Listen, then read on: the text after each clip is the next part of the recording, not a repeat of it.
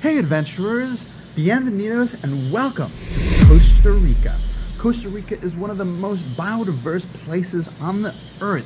It has over 500,000 different species. I mean, even just looking at frogs, they have over 100 species of frogs and it is incredible. So today we are going to go on a little bit of a nature walk and find some of those amazing creatures. We'll probably focus on mammals and frogs and other amphibians. Maybe we'll see a snake, who knows. But we're gonna give you just a little bit of sample, a little tiny sampling of what Costa Rica can offer. So stay tuned and let's get to it. Here we go.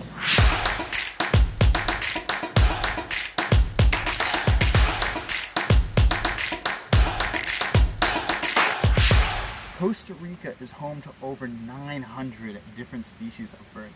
That's around 10% of all the birds in the world. Some of them are so colorful like this motmot or the scarlet macaw. Others are big like the great curassow. And they're wandering all over this property, which is really cool too. So let's take a step and look a little bit closer at some of the birds that you might see if you come to Costa Rica. I know a few of you might want to see a toucan or two. Here's one.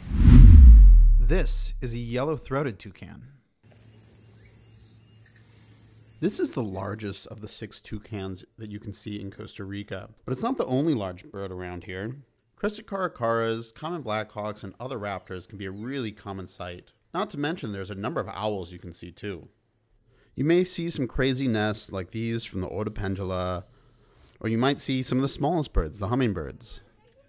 But be sure to keep your eye out for one of the most beautiful birds that they have out here, the resplendent quetzal. It doesn't matter where you are or how the weather is, there's probably some pretty cool birds for you to see. But let's put our binoculars down for a second and take a look at something a little bit closer. Let me just take the camera here all right, are you ready for this? Look at that. This is a green basilisk. Now the basilisk lizards are also called the Jesus Christ lizards and they get that name because they run across water. They can run really, really fast and they can actually make like fairly good distance running across like a lake or a stream or a creek or something. Now this is a full grown adult for the green basilisk and so he can't really run as much across across water as some of the the juveniles can. But they're very good swimmers as well. So if he feels threatened, he'll jump into the water and uh, and hide from a big predator. But it is great to see such a large lizard uh, right up close. Let's see how close he'll let me get to him. Just look at that. I love those white little spots on the side. And that turquoise light blue on the throat. Really pretty lizard. Well, I guess that is as close as I can get. He has taken off into the bush. But really neat. Like I said, 200, over 200 different species of reptiles so let's take a closer look at some of the ones that are more common out here. Costa Rica's reptile variety is dominated by snakes. Be sure to look in all directions, like up in the trees to see these yellow blunt-headed tree snakes, or maybe this cloudy snail eater, or these cat-eyed snakes that we would often see around frogs. During the day, you might come upon a giant chicken snake, or maybe something you've never seen before, like this brown spot belly that I had identify afterwards. We just spotted this tiny little snake uh, our guide Dennis knows that it's not venomous, even though it is biting. Uh -oh. um, you can see the belly is has a, some dots on the outside, but it's mostly sort of plain in color. The back has some faint stripes on it, and the head has like a little dot at the beginning of the of the thing.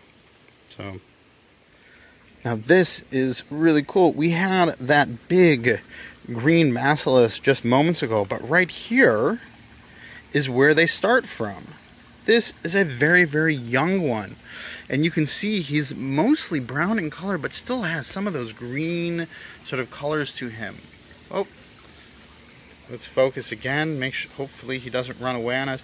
Yeah, you can see his greens coming through, but he's definitely much more brown. Now, this video wouldn't be complete if we didn't talk about one of the most iconic animals that Costa Rica has, and that's their mammals. Over 200 species of mammals in Costa Rica, and that includes things like the sloths and the monkeys, things that a lot of people from around the world are coming to see.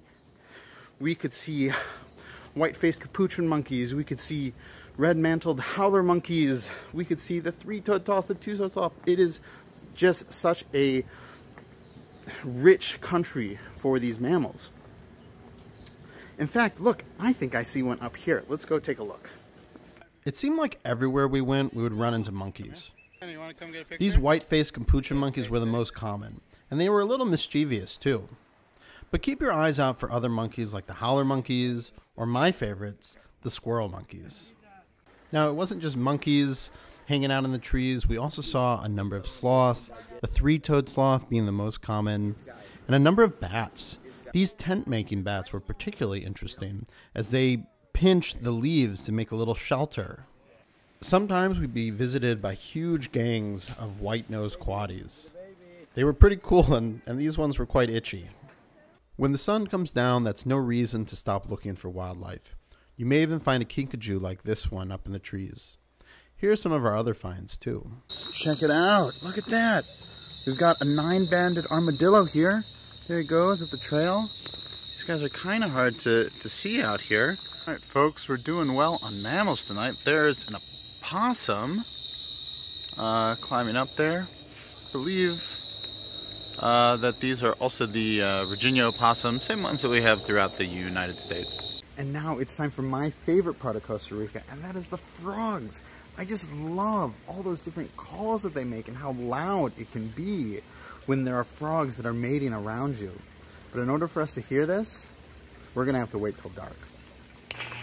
Just listen to that sound. It is amazing. There's so many different types of frogs here. Here. Oh, that one's fun. Look at this frog right here. Let's we're gonna try to catch it. This is a mahogany tree frog, also known as the swamp tree frog and they are all sort of yellow in color.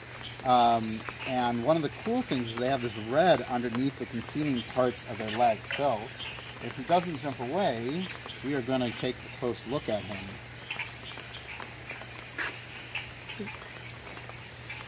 So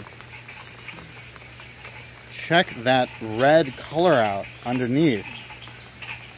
Really, really cool. And just such vibrant yellow he's being a great little partner here. And again, if you ever handle uh, amphibians, make sure that your hands are wet before you do it. Uh, luckily for us, it's raining, so our whole bodies are kind of wet. But just gorgeous to see all that red coloration. Oh!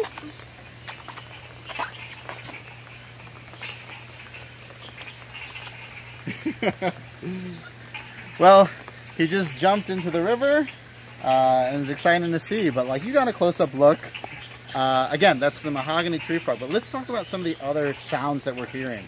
So a lot of those um, burp, burp sounds, that is that mahogany tree frog calling. There are more sort of squealish sounds, uh, more like a pig squealing. That is a yellow tree frog, and there's actually one over here.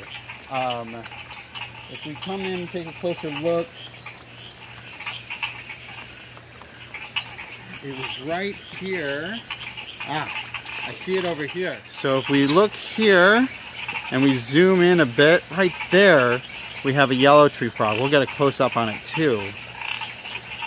But they make these sort of squealy sounds that we're hearing from out there. Now, of course, we have a ton of frogs that are in these steamy waters here. These are all geothermal streams. And so you can see all the steam coming up through this bright. Right there, that first one here, that is a Vaillant frog. Uh, they're part of the Lithobates genus, the same frogs that we often see uh, in North America, similar to our green frog and our bullfrog. And if we if we turn, uh, actually, let's look right here is one of a very exciting frog. That huge frog over there is a smoky jungle frog. Now they create a lot of foam when they mate and they they have little burrows that they usually live nearby. So we've actually seen this guy a couple times and I'm sure he has a burrow that's no more than like a foot or two away. Um, so really, really cool. But just, I love how noisy it is here and how many different species that we can find. Um, we're going to have to pay even closer attention and see if we can get another species for you up close. Oh, wait a second. I think Tatiana has one for us. Uh, where did that iguana go? Well, deep in there we see. Oh, yes, I see it. Let's zoom in a little bit. That is our mahogany tree frog again from a distance. Great. Awesome. Very And cool. we have a sleeping. It's kind of hidden. If we move this right there. Excellent. Oh, so much better. Look at that. All green with striping on the tail. That's how we know it's an iguana and not one of the green basilisks that we also see in the area. All right, check out this little... Oh! He hopped over there, but this is a Mexican tree frog, or Mexican um, uh, Smilisca. Uh, they're very similar looking to our mass tree frogs. I actually think they're in the same genus. Uh, but they don't have as much black on the face and they have a little bit of green below the eye. Hopefully we'll we'll have a picture and we'll show you it later. But gonna keep on walking. Oh, what an excellent surprise. Tatiana just found a couple more oh, frogs for us. one, A third one. Where? Oh, There's the third one. And then these are two little ones. okay. We're gonna, Tatiana's gonna show us what she found here. Right here. Oh, really, really neat. Look at that. This is a much better look. Oh, actually, this is a new one for tonight. This Sorry. is an hourglass tree frog or a harlequin tree frog. Um, they have these dark markings on the back there that look kind of like hourglasses, and that's where they get uh, that common name. That side. And and somewhere there's a second one. Oh, I see it up here. Look at that. How lovely. Now, she also found up there another mahogany tree frog. We had a close up of those earlier. Very cool to see another one. And then right along the edge of the pond here, we have three little frogs. Now, I'm going to switch places with Tatiana so I can get closer. And these are tiny little, they're not that tiny, but they're, we've seen bigger ones. These are masked tree frogs. Um, and you can tell because they have a bit of a mask to the eye. Um, now, the Mexican tree frogs look very similar, but if they have a black mask, they don't have such extensive green in front of the snout. And you can see that a lot of these guys, they have kind of like a green mustache as well. Um, and this guy looks like he's been calling, his vocal sacs puffed up a bit. I'm sure he'll be calling a bit more in the night. Oh, where did those frogs go? I think they must have jumped in the water as we walked by. So I'm going to go the other way so I don't disturb another frog. But very, very cool to find this other pond and to see another uh, three species. Oh, actually, before we take off, look at this this one here. Oh, ah, there he is. You can really see that dark marking, that hourglass marking on its back. It's much more prominent in that one. So, very, very cool. That's the hourglass tree frog, also known as the harlequin tree frog. And there, is that another one? Or is that one of our ones from before? Oh, this one, it's a it's another individual, another harlequin, but you can see it's even more pronounced, uh, that hourglass marking on the back. So very cool. Tatiana, there's Tatiana. Thank you for finding all these frogs for us. All right, into the night we go. Let's go. I'm Greg Schechter. And I'm Tatiana Chicho Schechter. And we'll see you in the field.